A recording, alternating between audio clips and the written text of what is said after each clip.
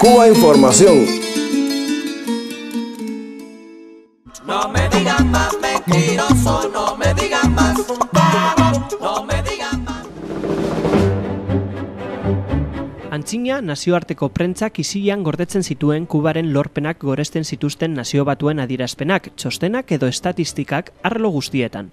Osasunean, hezkuntzan, nutrizioan edo takiza garapenean. Orain, ordea, arago joan dira, eta edabide batzuk ausartzen dira datuak gezurtatzera. Nola liteke Kubak osasun arloan herrialdea beratzen indizeak lortzea, titulua irakur genezakeen orain gutxi el país egunkari Espainiarrean. Bazidurien kubatar osasun sistema arrakastatzuaren aldekoa. Baina ez. Erreportajeak kontrako helburua zuen, gaizki esakaritzea. Testuak onartzen zuen kubatar osasun sistema badagoela Amerikako abanguardian eta munduko batezbestekoaren oso gainetik. Barne produktu gordinari dagokionez, osasun arloan egiten diren inbertzioak handiagoak direla Ameriketako estatu batuetan edo Alemanian baino, eta Kuba izan dela munduko lehenengo herrialdea ama umeen arteko IESaren transmisioa erausten. Hala ere, el paisen ustez, importanteena ez da hori guztia nola izan den posible hirugarren munduko herrialde blokeatu batean, eta nahiago izan zuen osasun sistemaren balizko itzalak azpimarratzea, honela deskribatuta bitan banatuta. Bata, kubatarrentzat eta bestea atzerritarrentzat, eta turista, gobernari eta goi agintarientzako klinikak daude.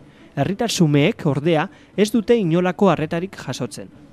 Horrela gutxietzi zuen el paisek amai mila kontsultategi, poliklinika, ospitale eta bestelako zentroak osaturiko sistema. Alderantziz, nazioarteko klinika bakan batzuk goretzi zituen, era berean estatu kubatarrenak direnak, zeinak inor aberastu barik, beren diru sarrerak bideratzen dituzte finantzatzera hain zuzen ere doako sistema publiko nazionala. Zentzurik gabeko beste zerbait. Erreportajean irakur daiteken moduan, nola liteke erortzeko sorian dauden instalazio ez osaturiko osasun sistema batek osasunaren mundu erakundearen zuzendariak goratutako adierazleak edukitzea eta aldi berean mundu osorako erabat eredugarria izatea? Kontra esan horrek, nahiko azalpen erraza dauka.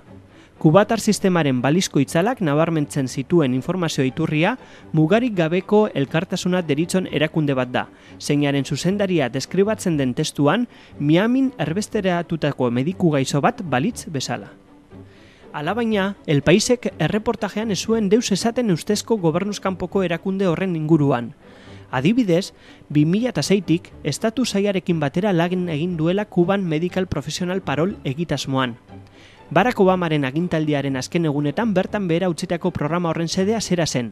Kubak munduan zehar garatzen duen borondatezko medikuntzako lankidetzarekin amaitzea eta osasun langilei asilo politikoa eskaintzea.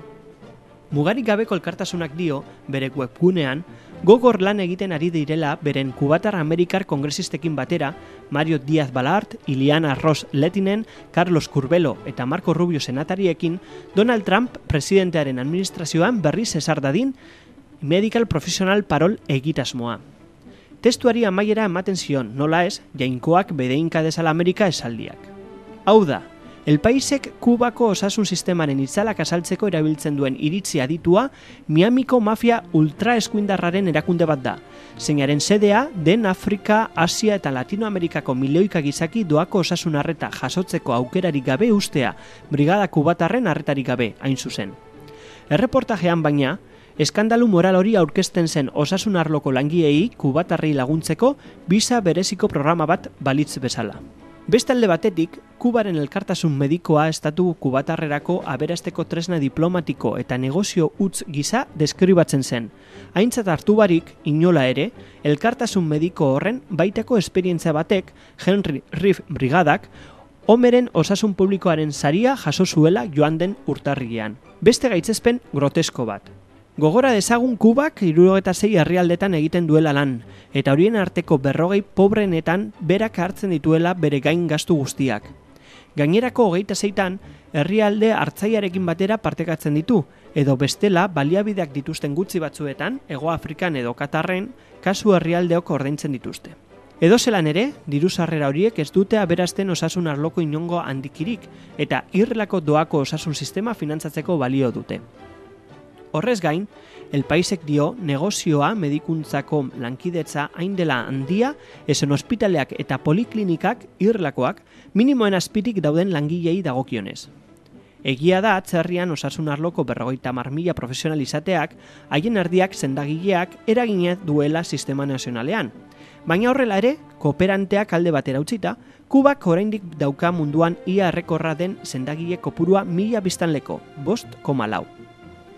Bide batez, esan beharra dago erreportajea El Paiseko Planeta Futuro atalean argitaratu zela, zeina Bill eta Melinda Gates fundazioak babestuta dagoen. Horrek azaldezake Kubako harreta mediko solidarioak idazkian jasotako trataera.